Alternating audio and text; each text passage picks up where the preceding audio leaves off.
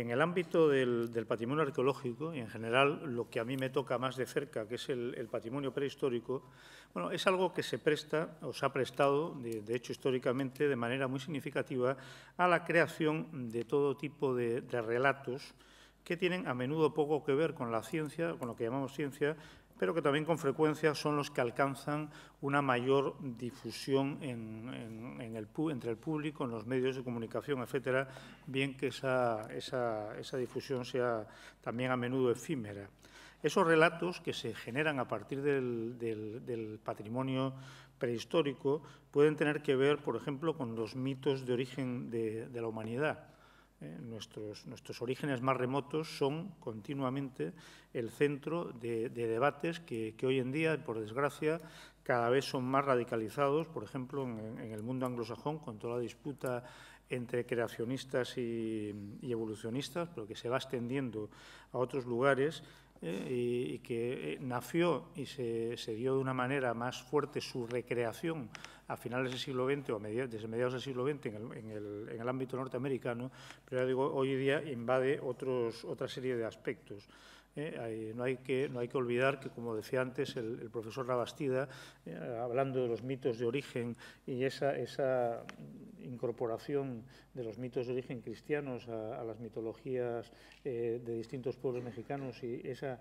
estamos siempre igual. En este caso, nuestro, nuestros mitos de origen hoy en día tienen mucho que ver con esos orígenes humanos, de dónde somos, dónde ha aparecido la primera humanidad, qué es lo primero, aspectos tan difíciles de contestar desde un punto de vista riguroso como eh, eh, quiénes fueron los primeros humanos realmente, a cuáles podemos llamar, dónde ponemos la raya divisoria en, ese, en, ese, mundo humano no humano, que es algo extremadamente complejo, pero todos esos, esos, temas de, alta investigación, muchas veces la traducción que tienen, que tienen al público viene no de la investigación o no de la primera línea de investigación, sino de interpretaciones ya que están fuertemente sesgadas por una intencionalidad, como antes decía, en este caso de carácter religioso y, y secundariamente de carácter político, básicamente de carácter político vestido religioso.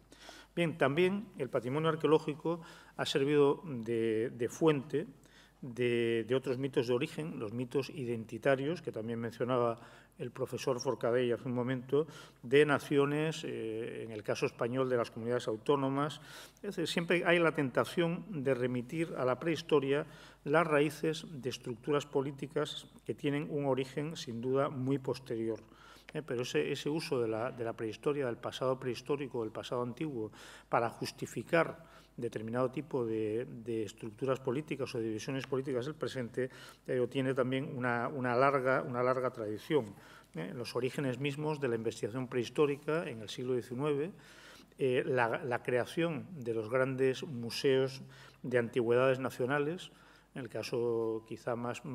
conocido entre nosotros, entre los prehistoriadores, es el papel que tuvo la reorganización de las colecciones del Museo Nacional de Antigüedades de Dinamarca por Thomsen, que marcó el origen de lo que luego se llamó el sistema de las tres edades. En último caso, en la creación de esos museos nacionales desde finales del siglo XVIII eh, y, principios del siglo XIX tiene mucho que ver con todo el proceso de, de creación de los estados de los estados nacionales y obraron como un elemento justificador esencial de esos, de esos estados nacionales. ¿eh? Si seguimos reduciendo la escala de análisis, encontraremos el mismo fenómeno eh, en el orden regional, comarcal o incluso local, ¿eh? en cada caso con sus peculiaridades oportunas, pero siempre buscando en un pasado remoto, a veces lo más remoto posible, eh, las diferencias, eh, la justificación de diferencias o similitudes eh, que, se, que se han establecido en el presente o en un pasado muy cercano. ¿Eh? diferencias en el sentido de a quién no nos queremos parecer y por lo tanto hay que justificar que somos diferentes y similitudes eh, buscando modelos de a quién nos queremos parecer ¿eh? para copiar su, modelo político y por lo tanto buscar una justificación de ello. A este respecto hay, hay, diferencias muy curiosas. Cuando mencionaba antes el profesor Labastida, ejemplos también del, del otro lado del charco, el ejemplo mexicano, yo como me crié en una, en una entonces todavía joven república hispanoamericana, siempre me ha llamado la atención eh, la diferente perspectiva histórica. Yo cuando, cuando, cuando estudié, el padre, el padre de las casas era un, gran personaje positivo. Eh, vine aquí cuando empecé a estudiar el bachillerato a los 10 años en España, el padre de las casas era un, traidor y el, y el, generador de la leyenda negra, etcétera, etcétera, con lo cual uno rápidamente aprende lo que es el relativismo histórico desde, desde la infancia. ¿no? Hay otra cosa que a mí ahora me admira, también digo por eso, esos orígenes donde en las repúblicas americanas normalmente la gran fiesta nacional tiene que ver con la independencia y los grandes mitos de justificación posterior nacen con los procesos de independencia y la fiesta nacional lo que conmemora es la independencia, siempre me resulta llamativo la insistencia de algunas comunidades autónomas españolas en buscar eh, su elemento identitario básico eh, de, fiesta, de fiesta nacional en una derrota, buscar su modelo en la derrota en el, en el pasado, cuando nos invadieron, cuando perdimos la guerra contra los romanos, en el caso de Cantabria, que es un ejemplo muy conocido, y parece que hay que buscar en esos cántabros, en esa derrota, la justificación para un renacimiento posterior. Por lo tanto, son perspectivas que lo que único que muestran es que el patrimonio arqueológico, que es algo que parece muy, muy aséptico y, muy alejado, siempre también es parte de ese juego actual. Bien, eh, ante esa construcción de relatos que se vinculan de manera directa a los intereses políticos, económicos y sociales del presente, a veces me pregunto si realmente es posible elaborar un discurso científico, es decir, que cuente con los atributos básicos de eso que solemos llamar o nos gusta llamar la objetividad científica. Eh, yo creo que quizá la, pregunta es difícil de abordar directamente y quizá se puede, buscar una, vía alternativa. Eh, yo lo que, lo que diría, o lo que a mí me parece, lo que yo pienso es que la base de la construcción de ese relato eh, público, para conocimiento del público en general sobre el pasado, debe estar basado en el conocimiento científico de ese pasado a través del testimonio arqueológico, que es un testimonio que es básicamente material, no textual, que donde también las limitaciones de su conservación han dependido, como decía el profesor Forcadello, de, cambios en la, opinión sobre qué es lo que merece la pena ser conservado y qué no, por lo tanto llega a nosotros muy, muy incompleto. ¿eh? y, por lo tanto, yo creo que esa es la, alternativa. Hay algunos casos recientes de, éxito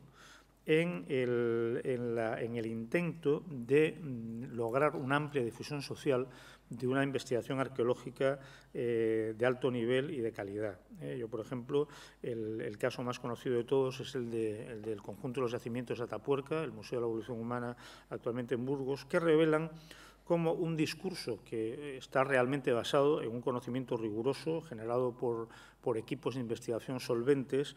eh, puede llegar a, capas muy amplias de, la población, puede convertirse en, un elemento eh, socialmente importante, de gran impacto social económico, de gran impacto a, través del, turismo, a una, escala mucho mayor de lo que son eh, geográficamente los, propios yacimientos,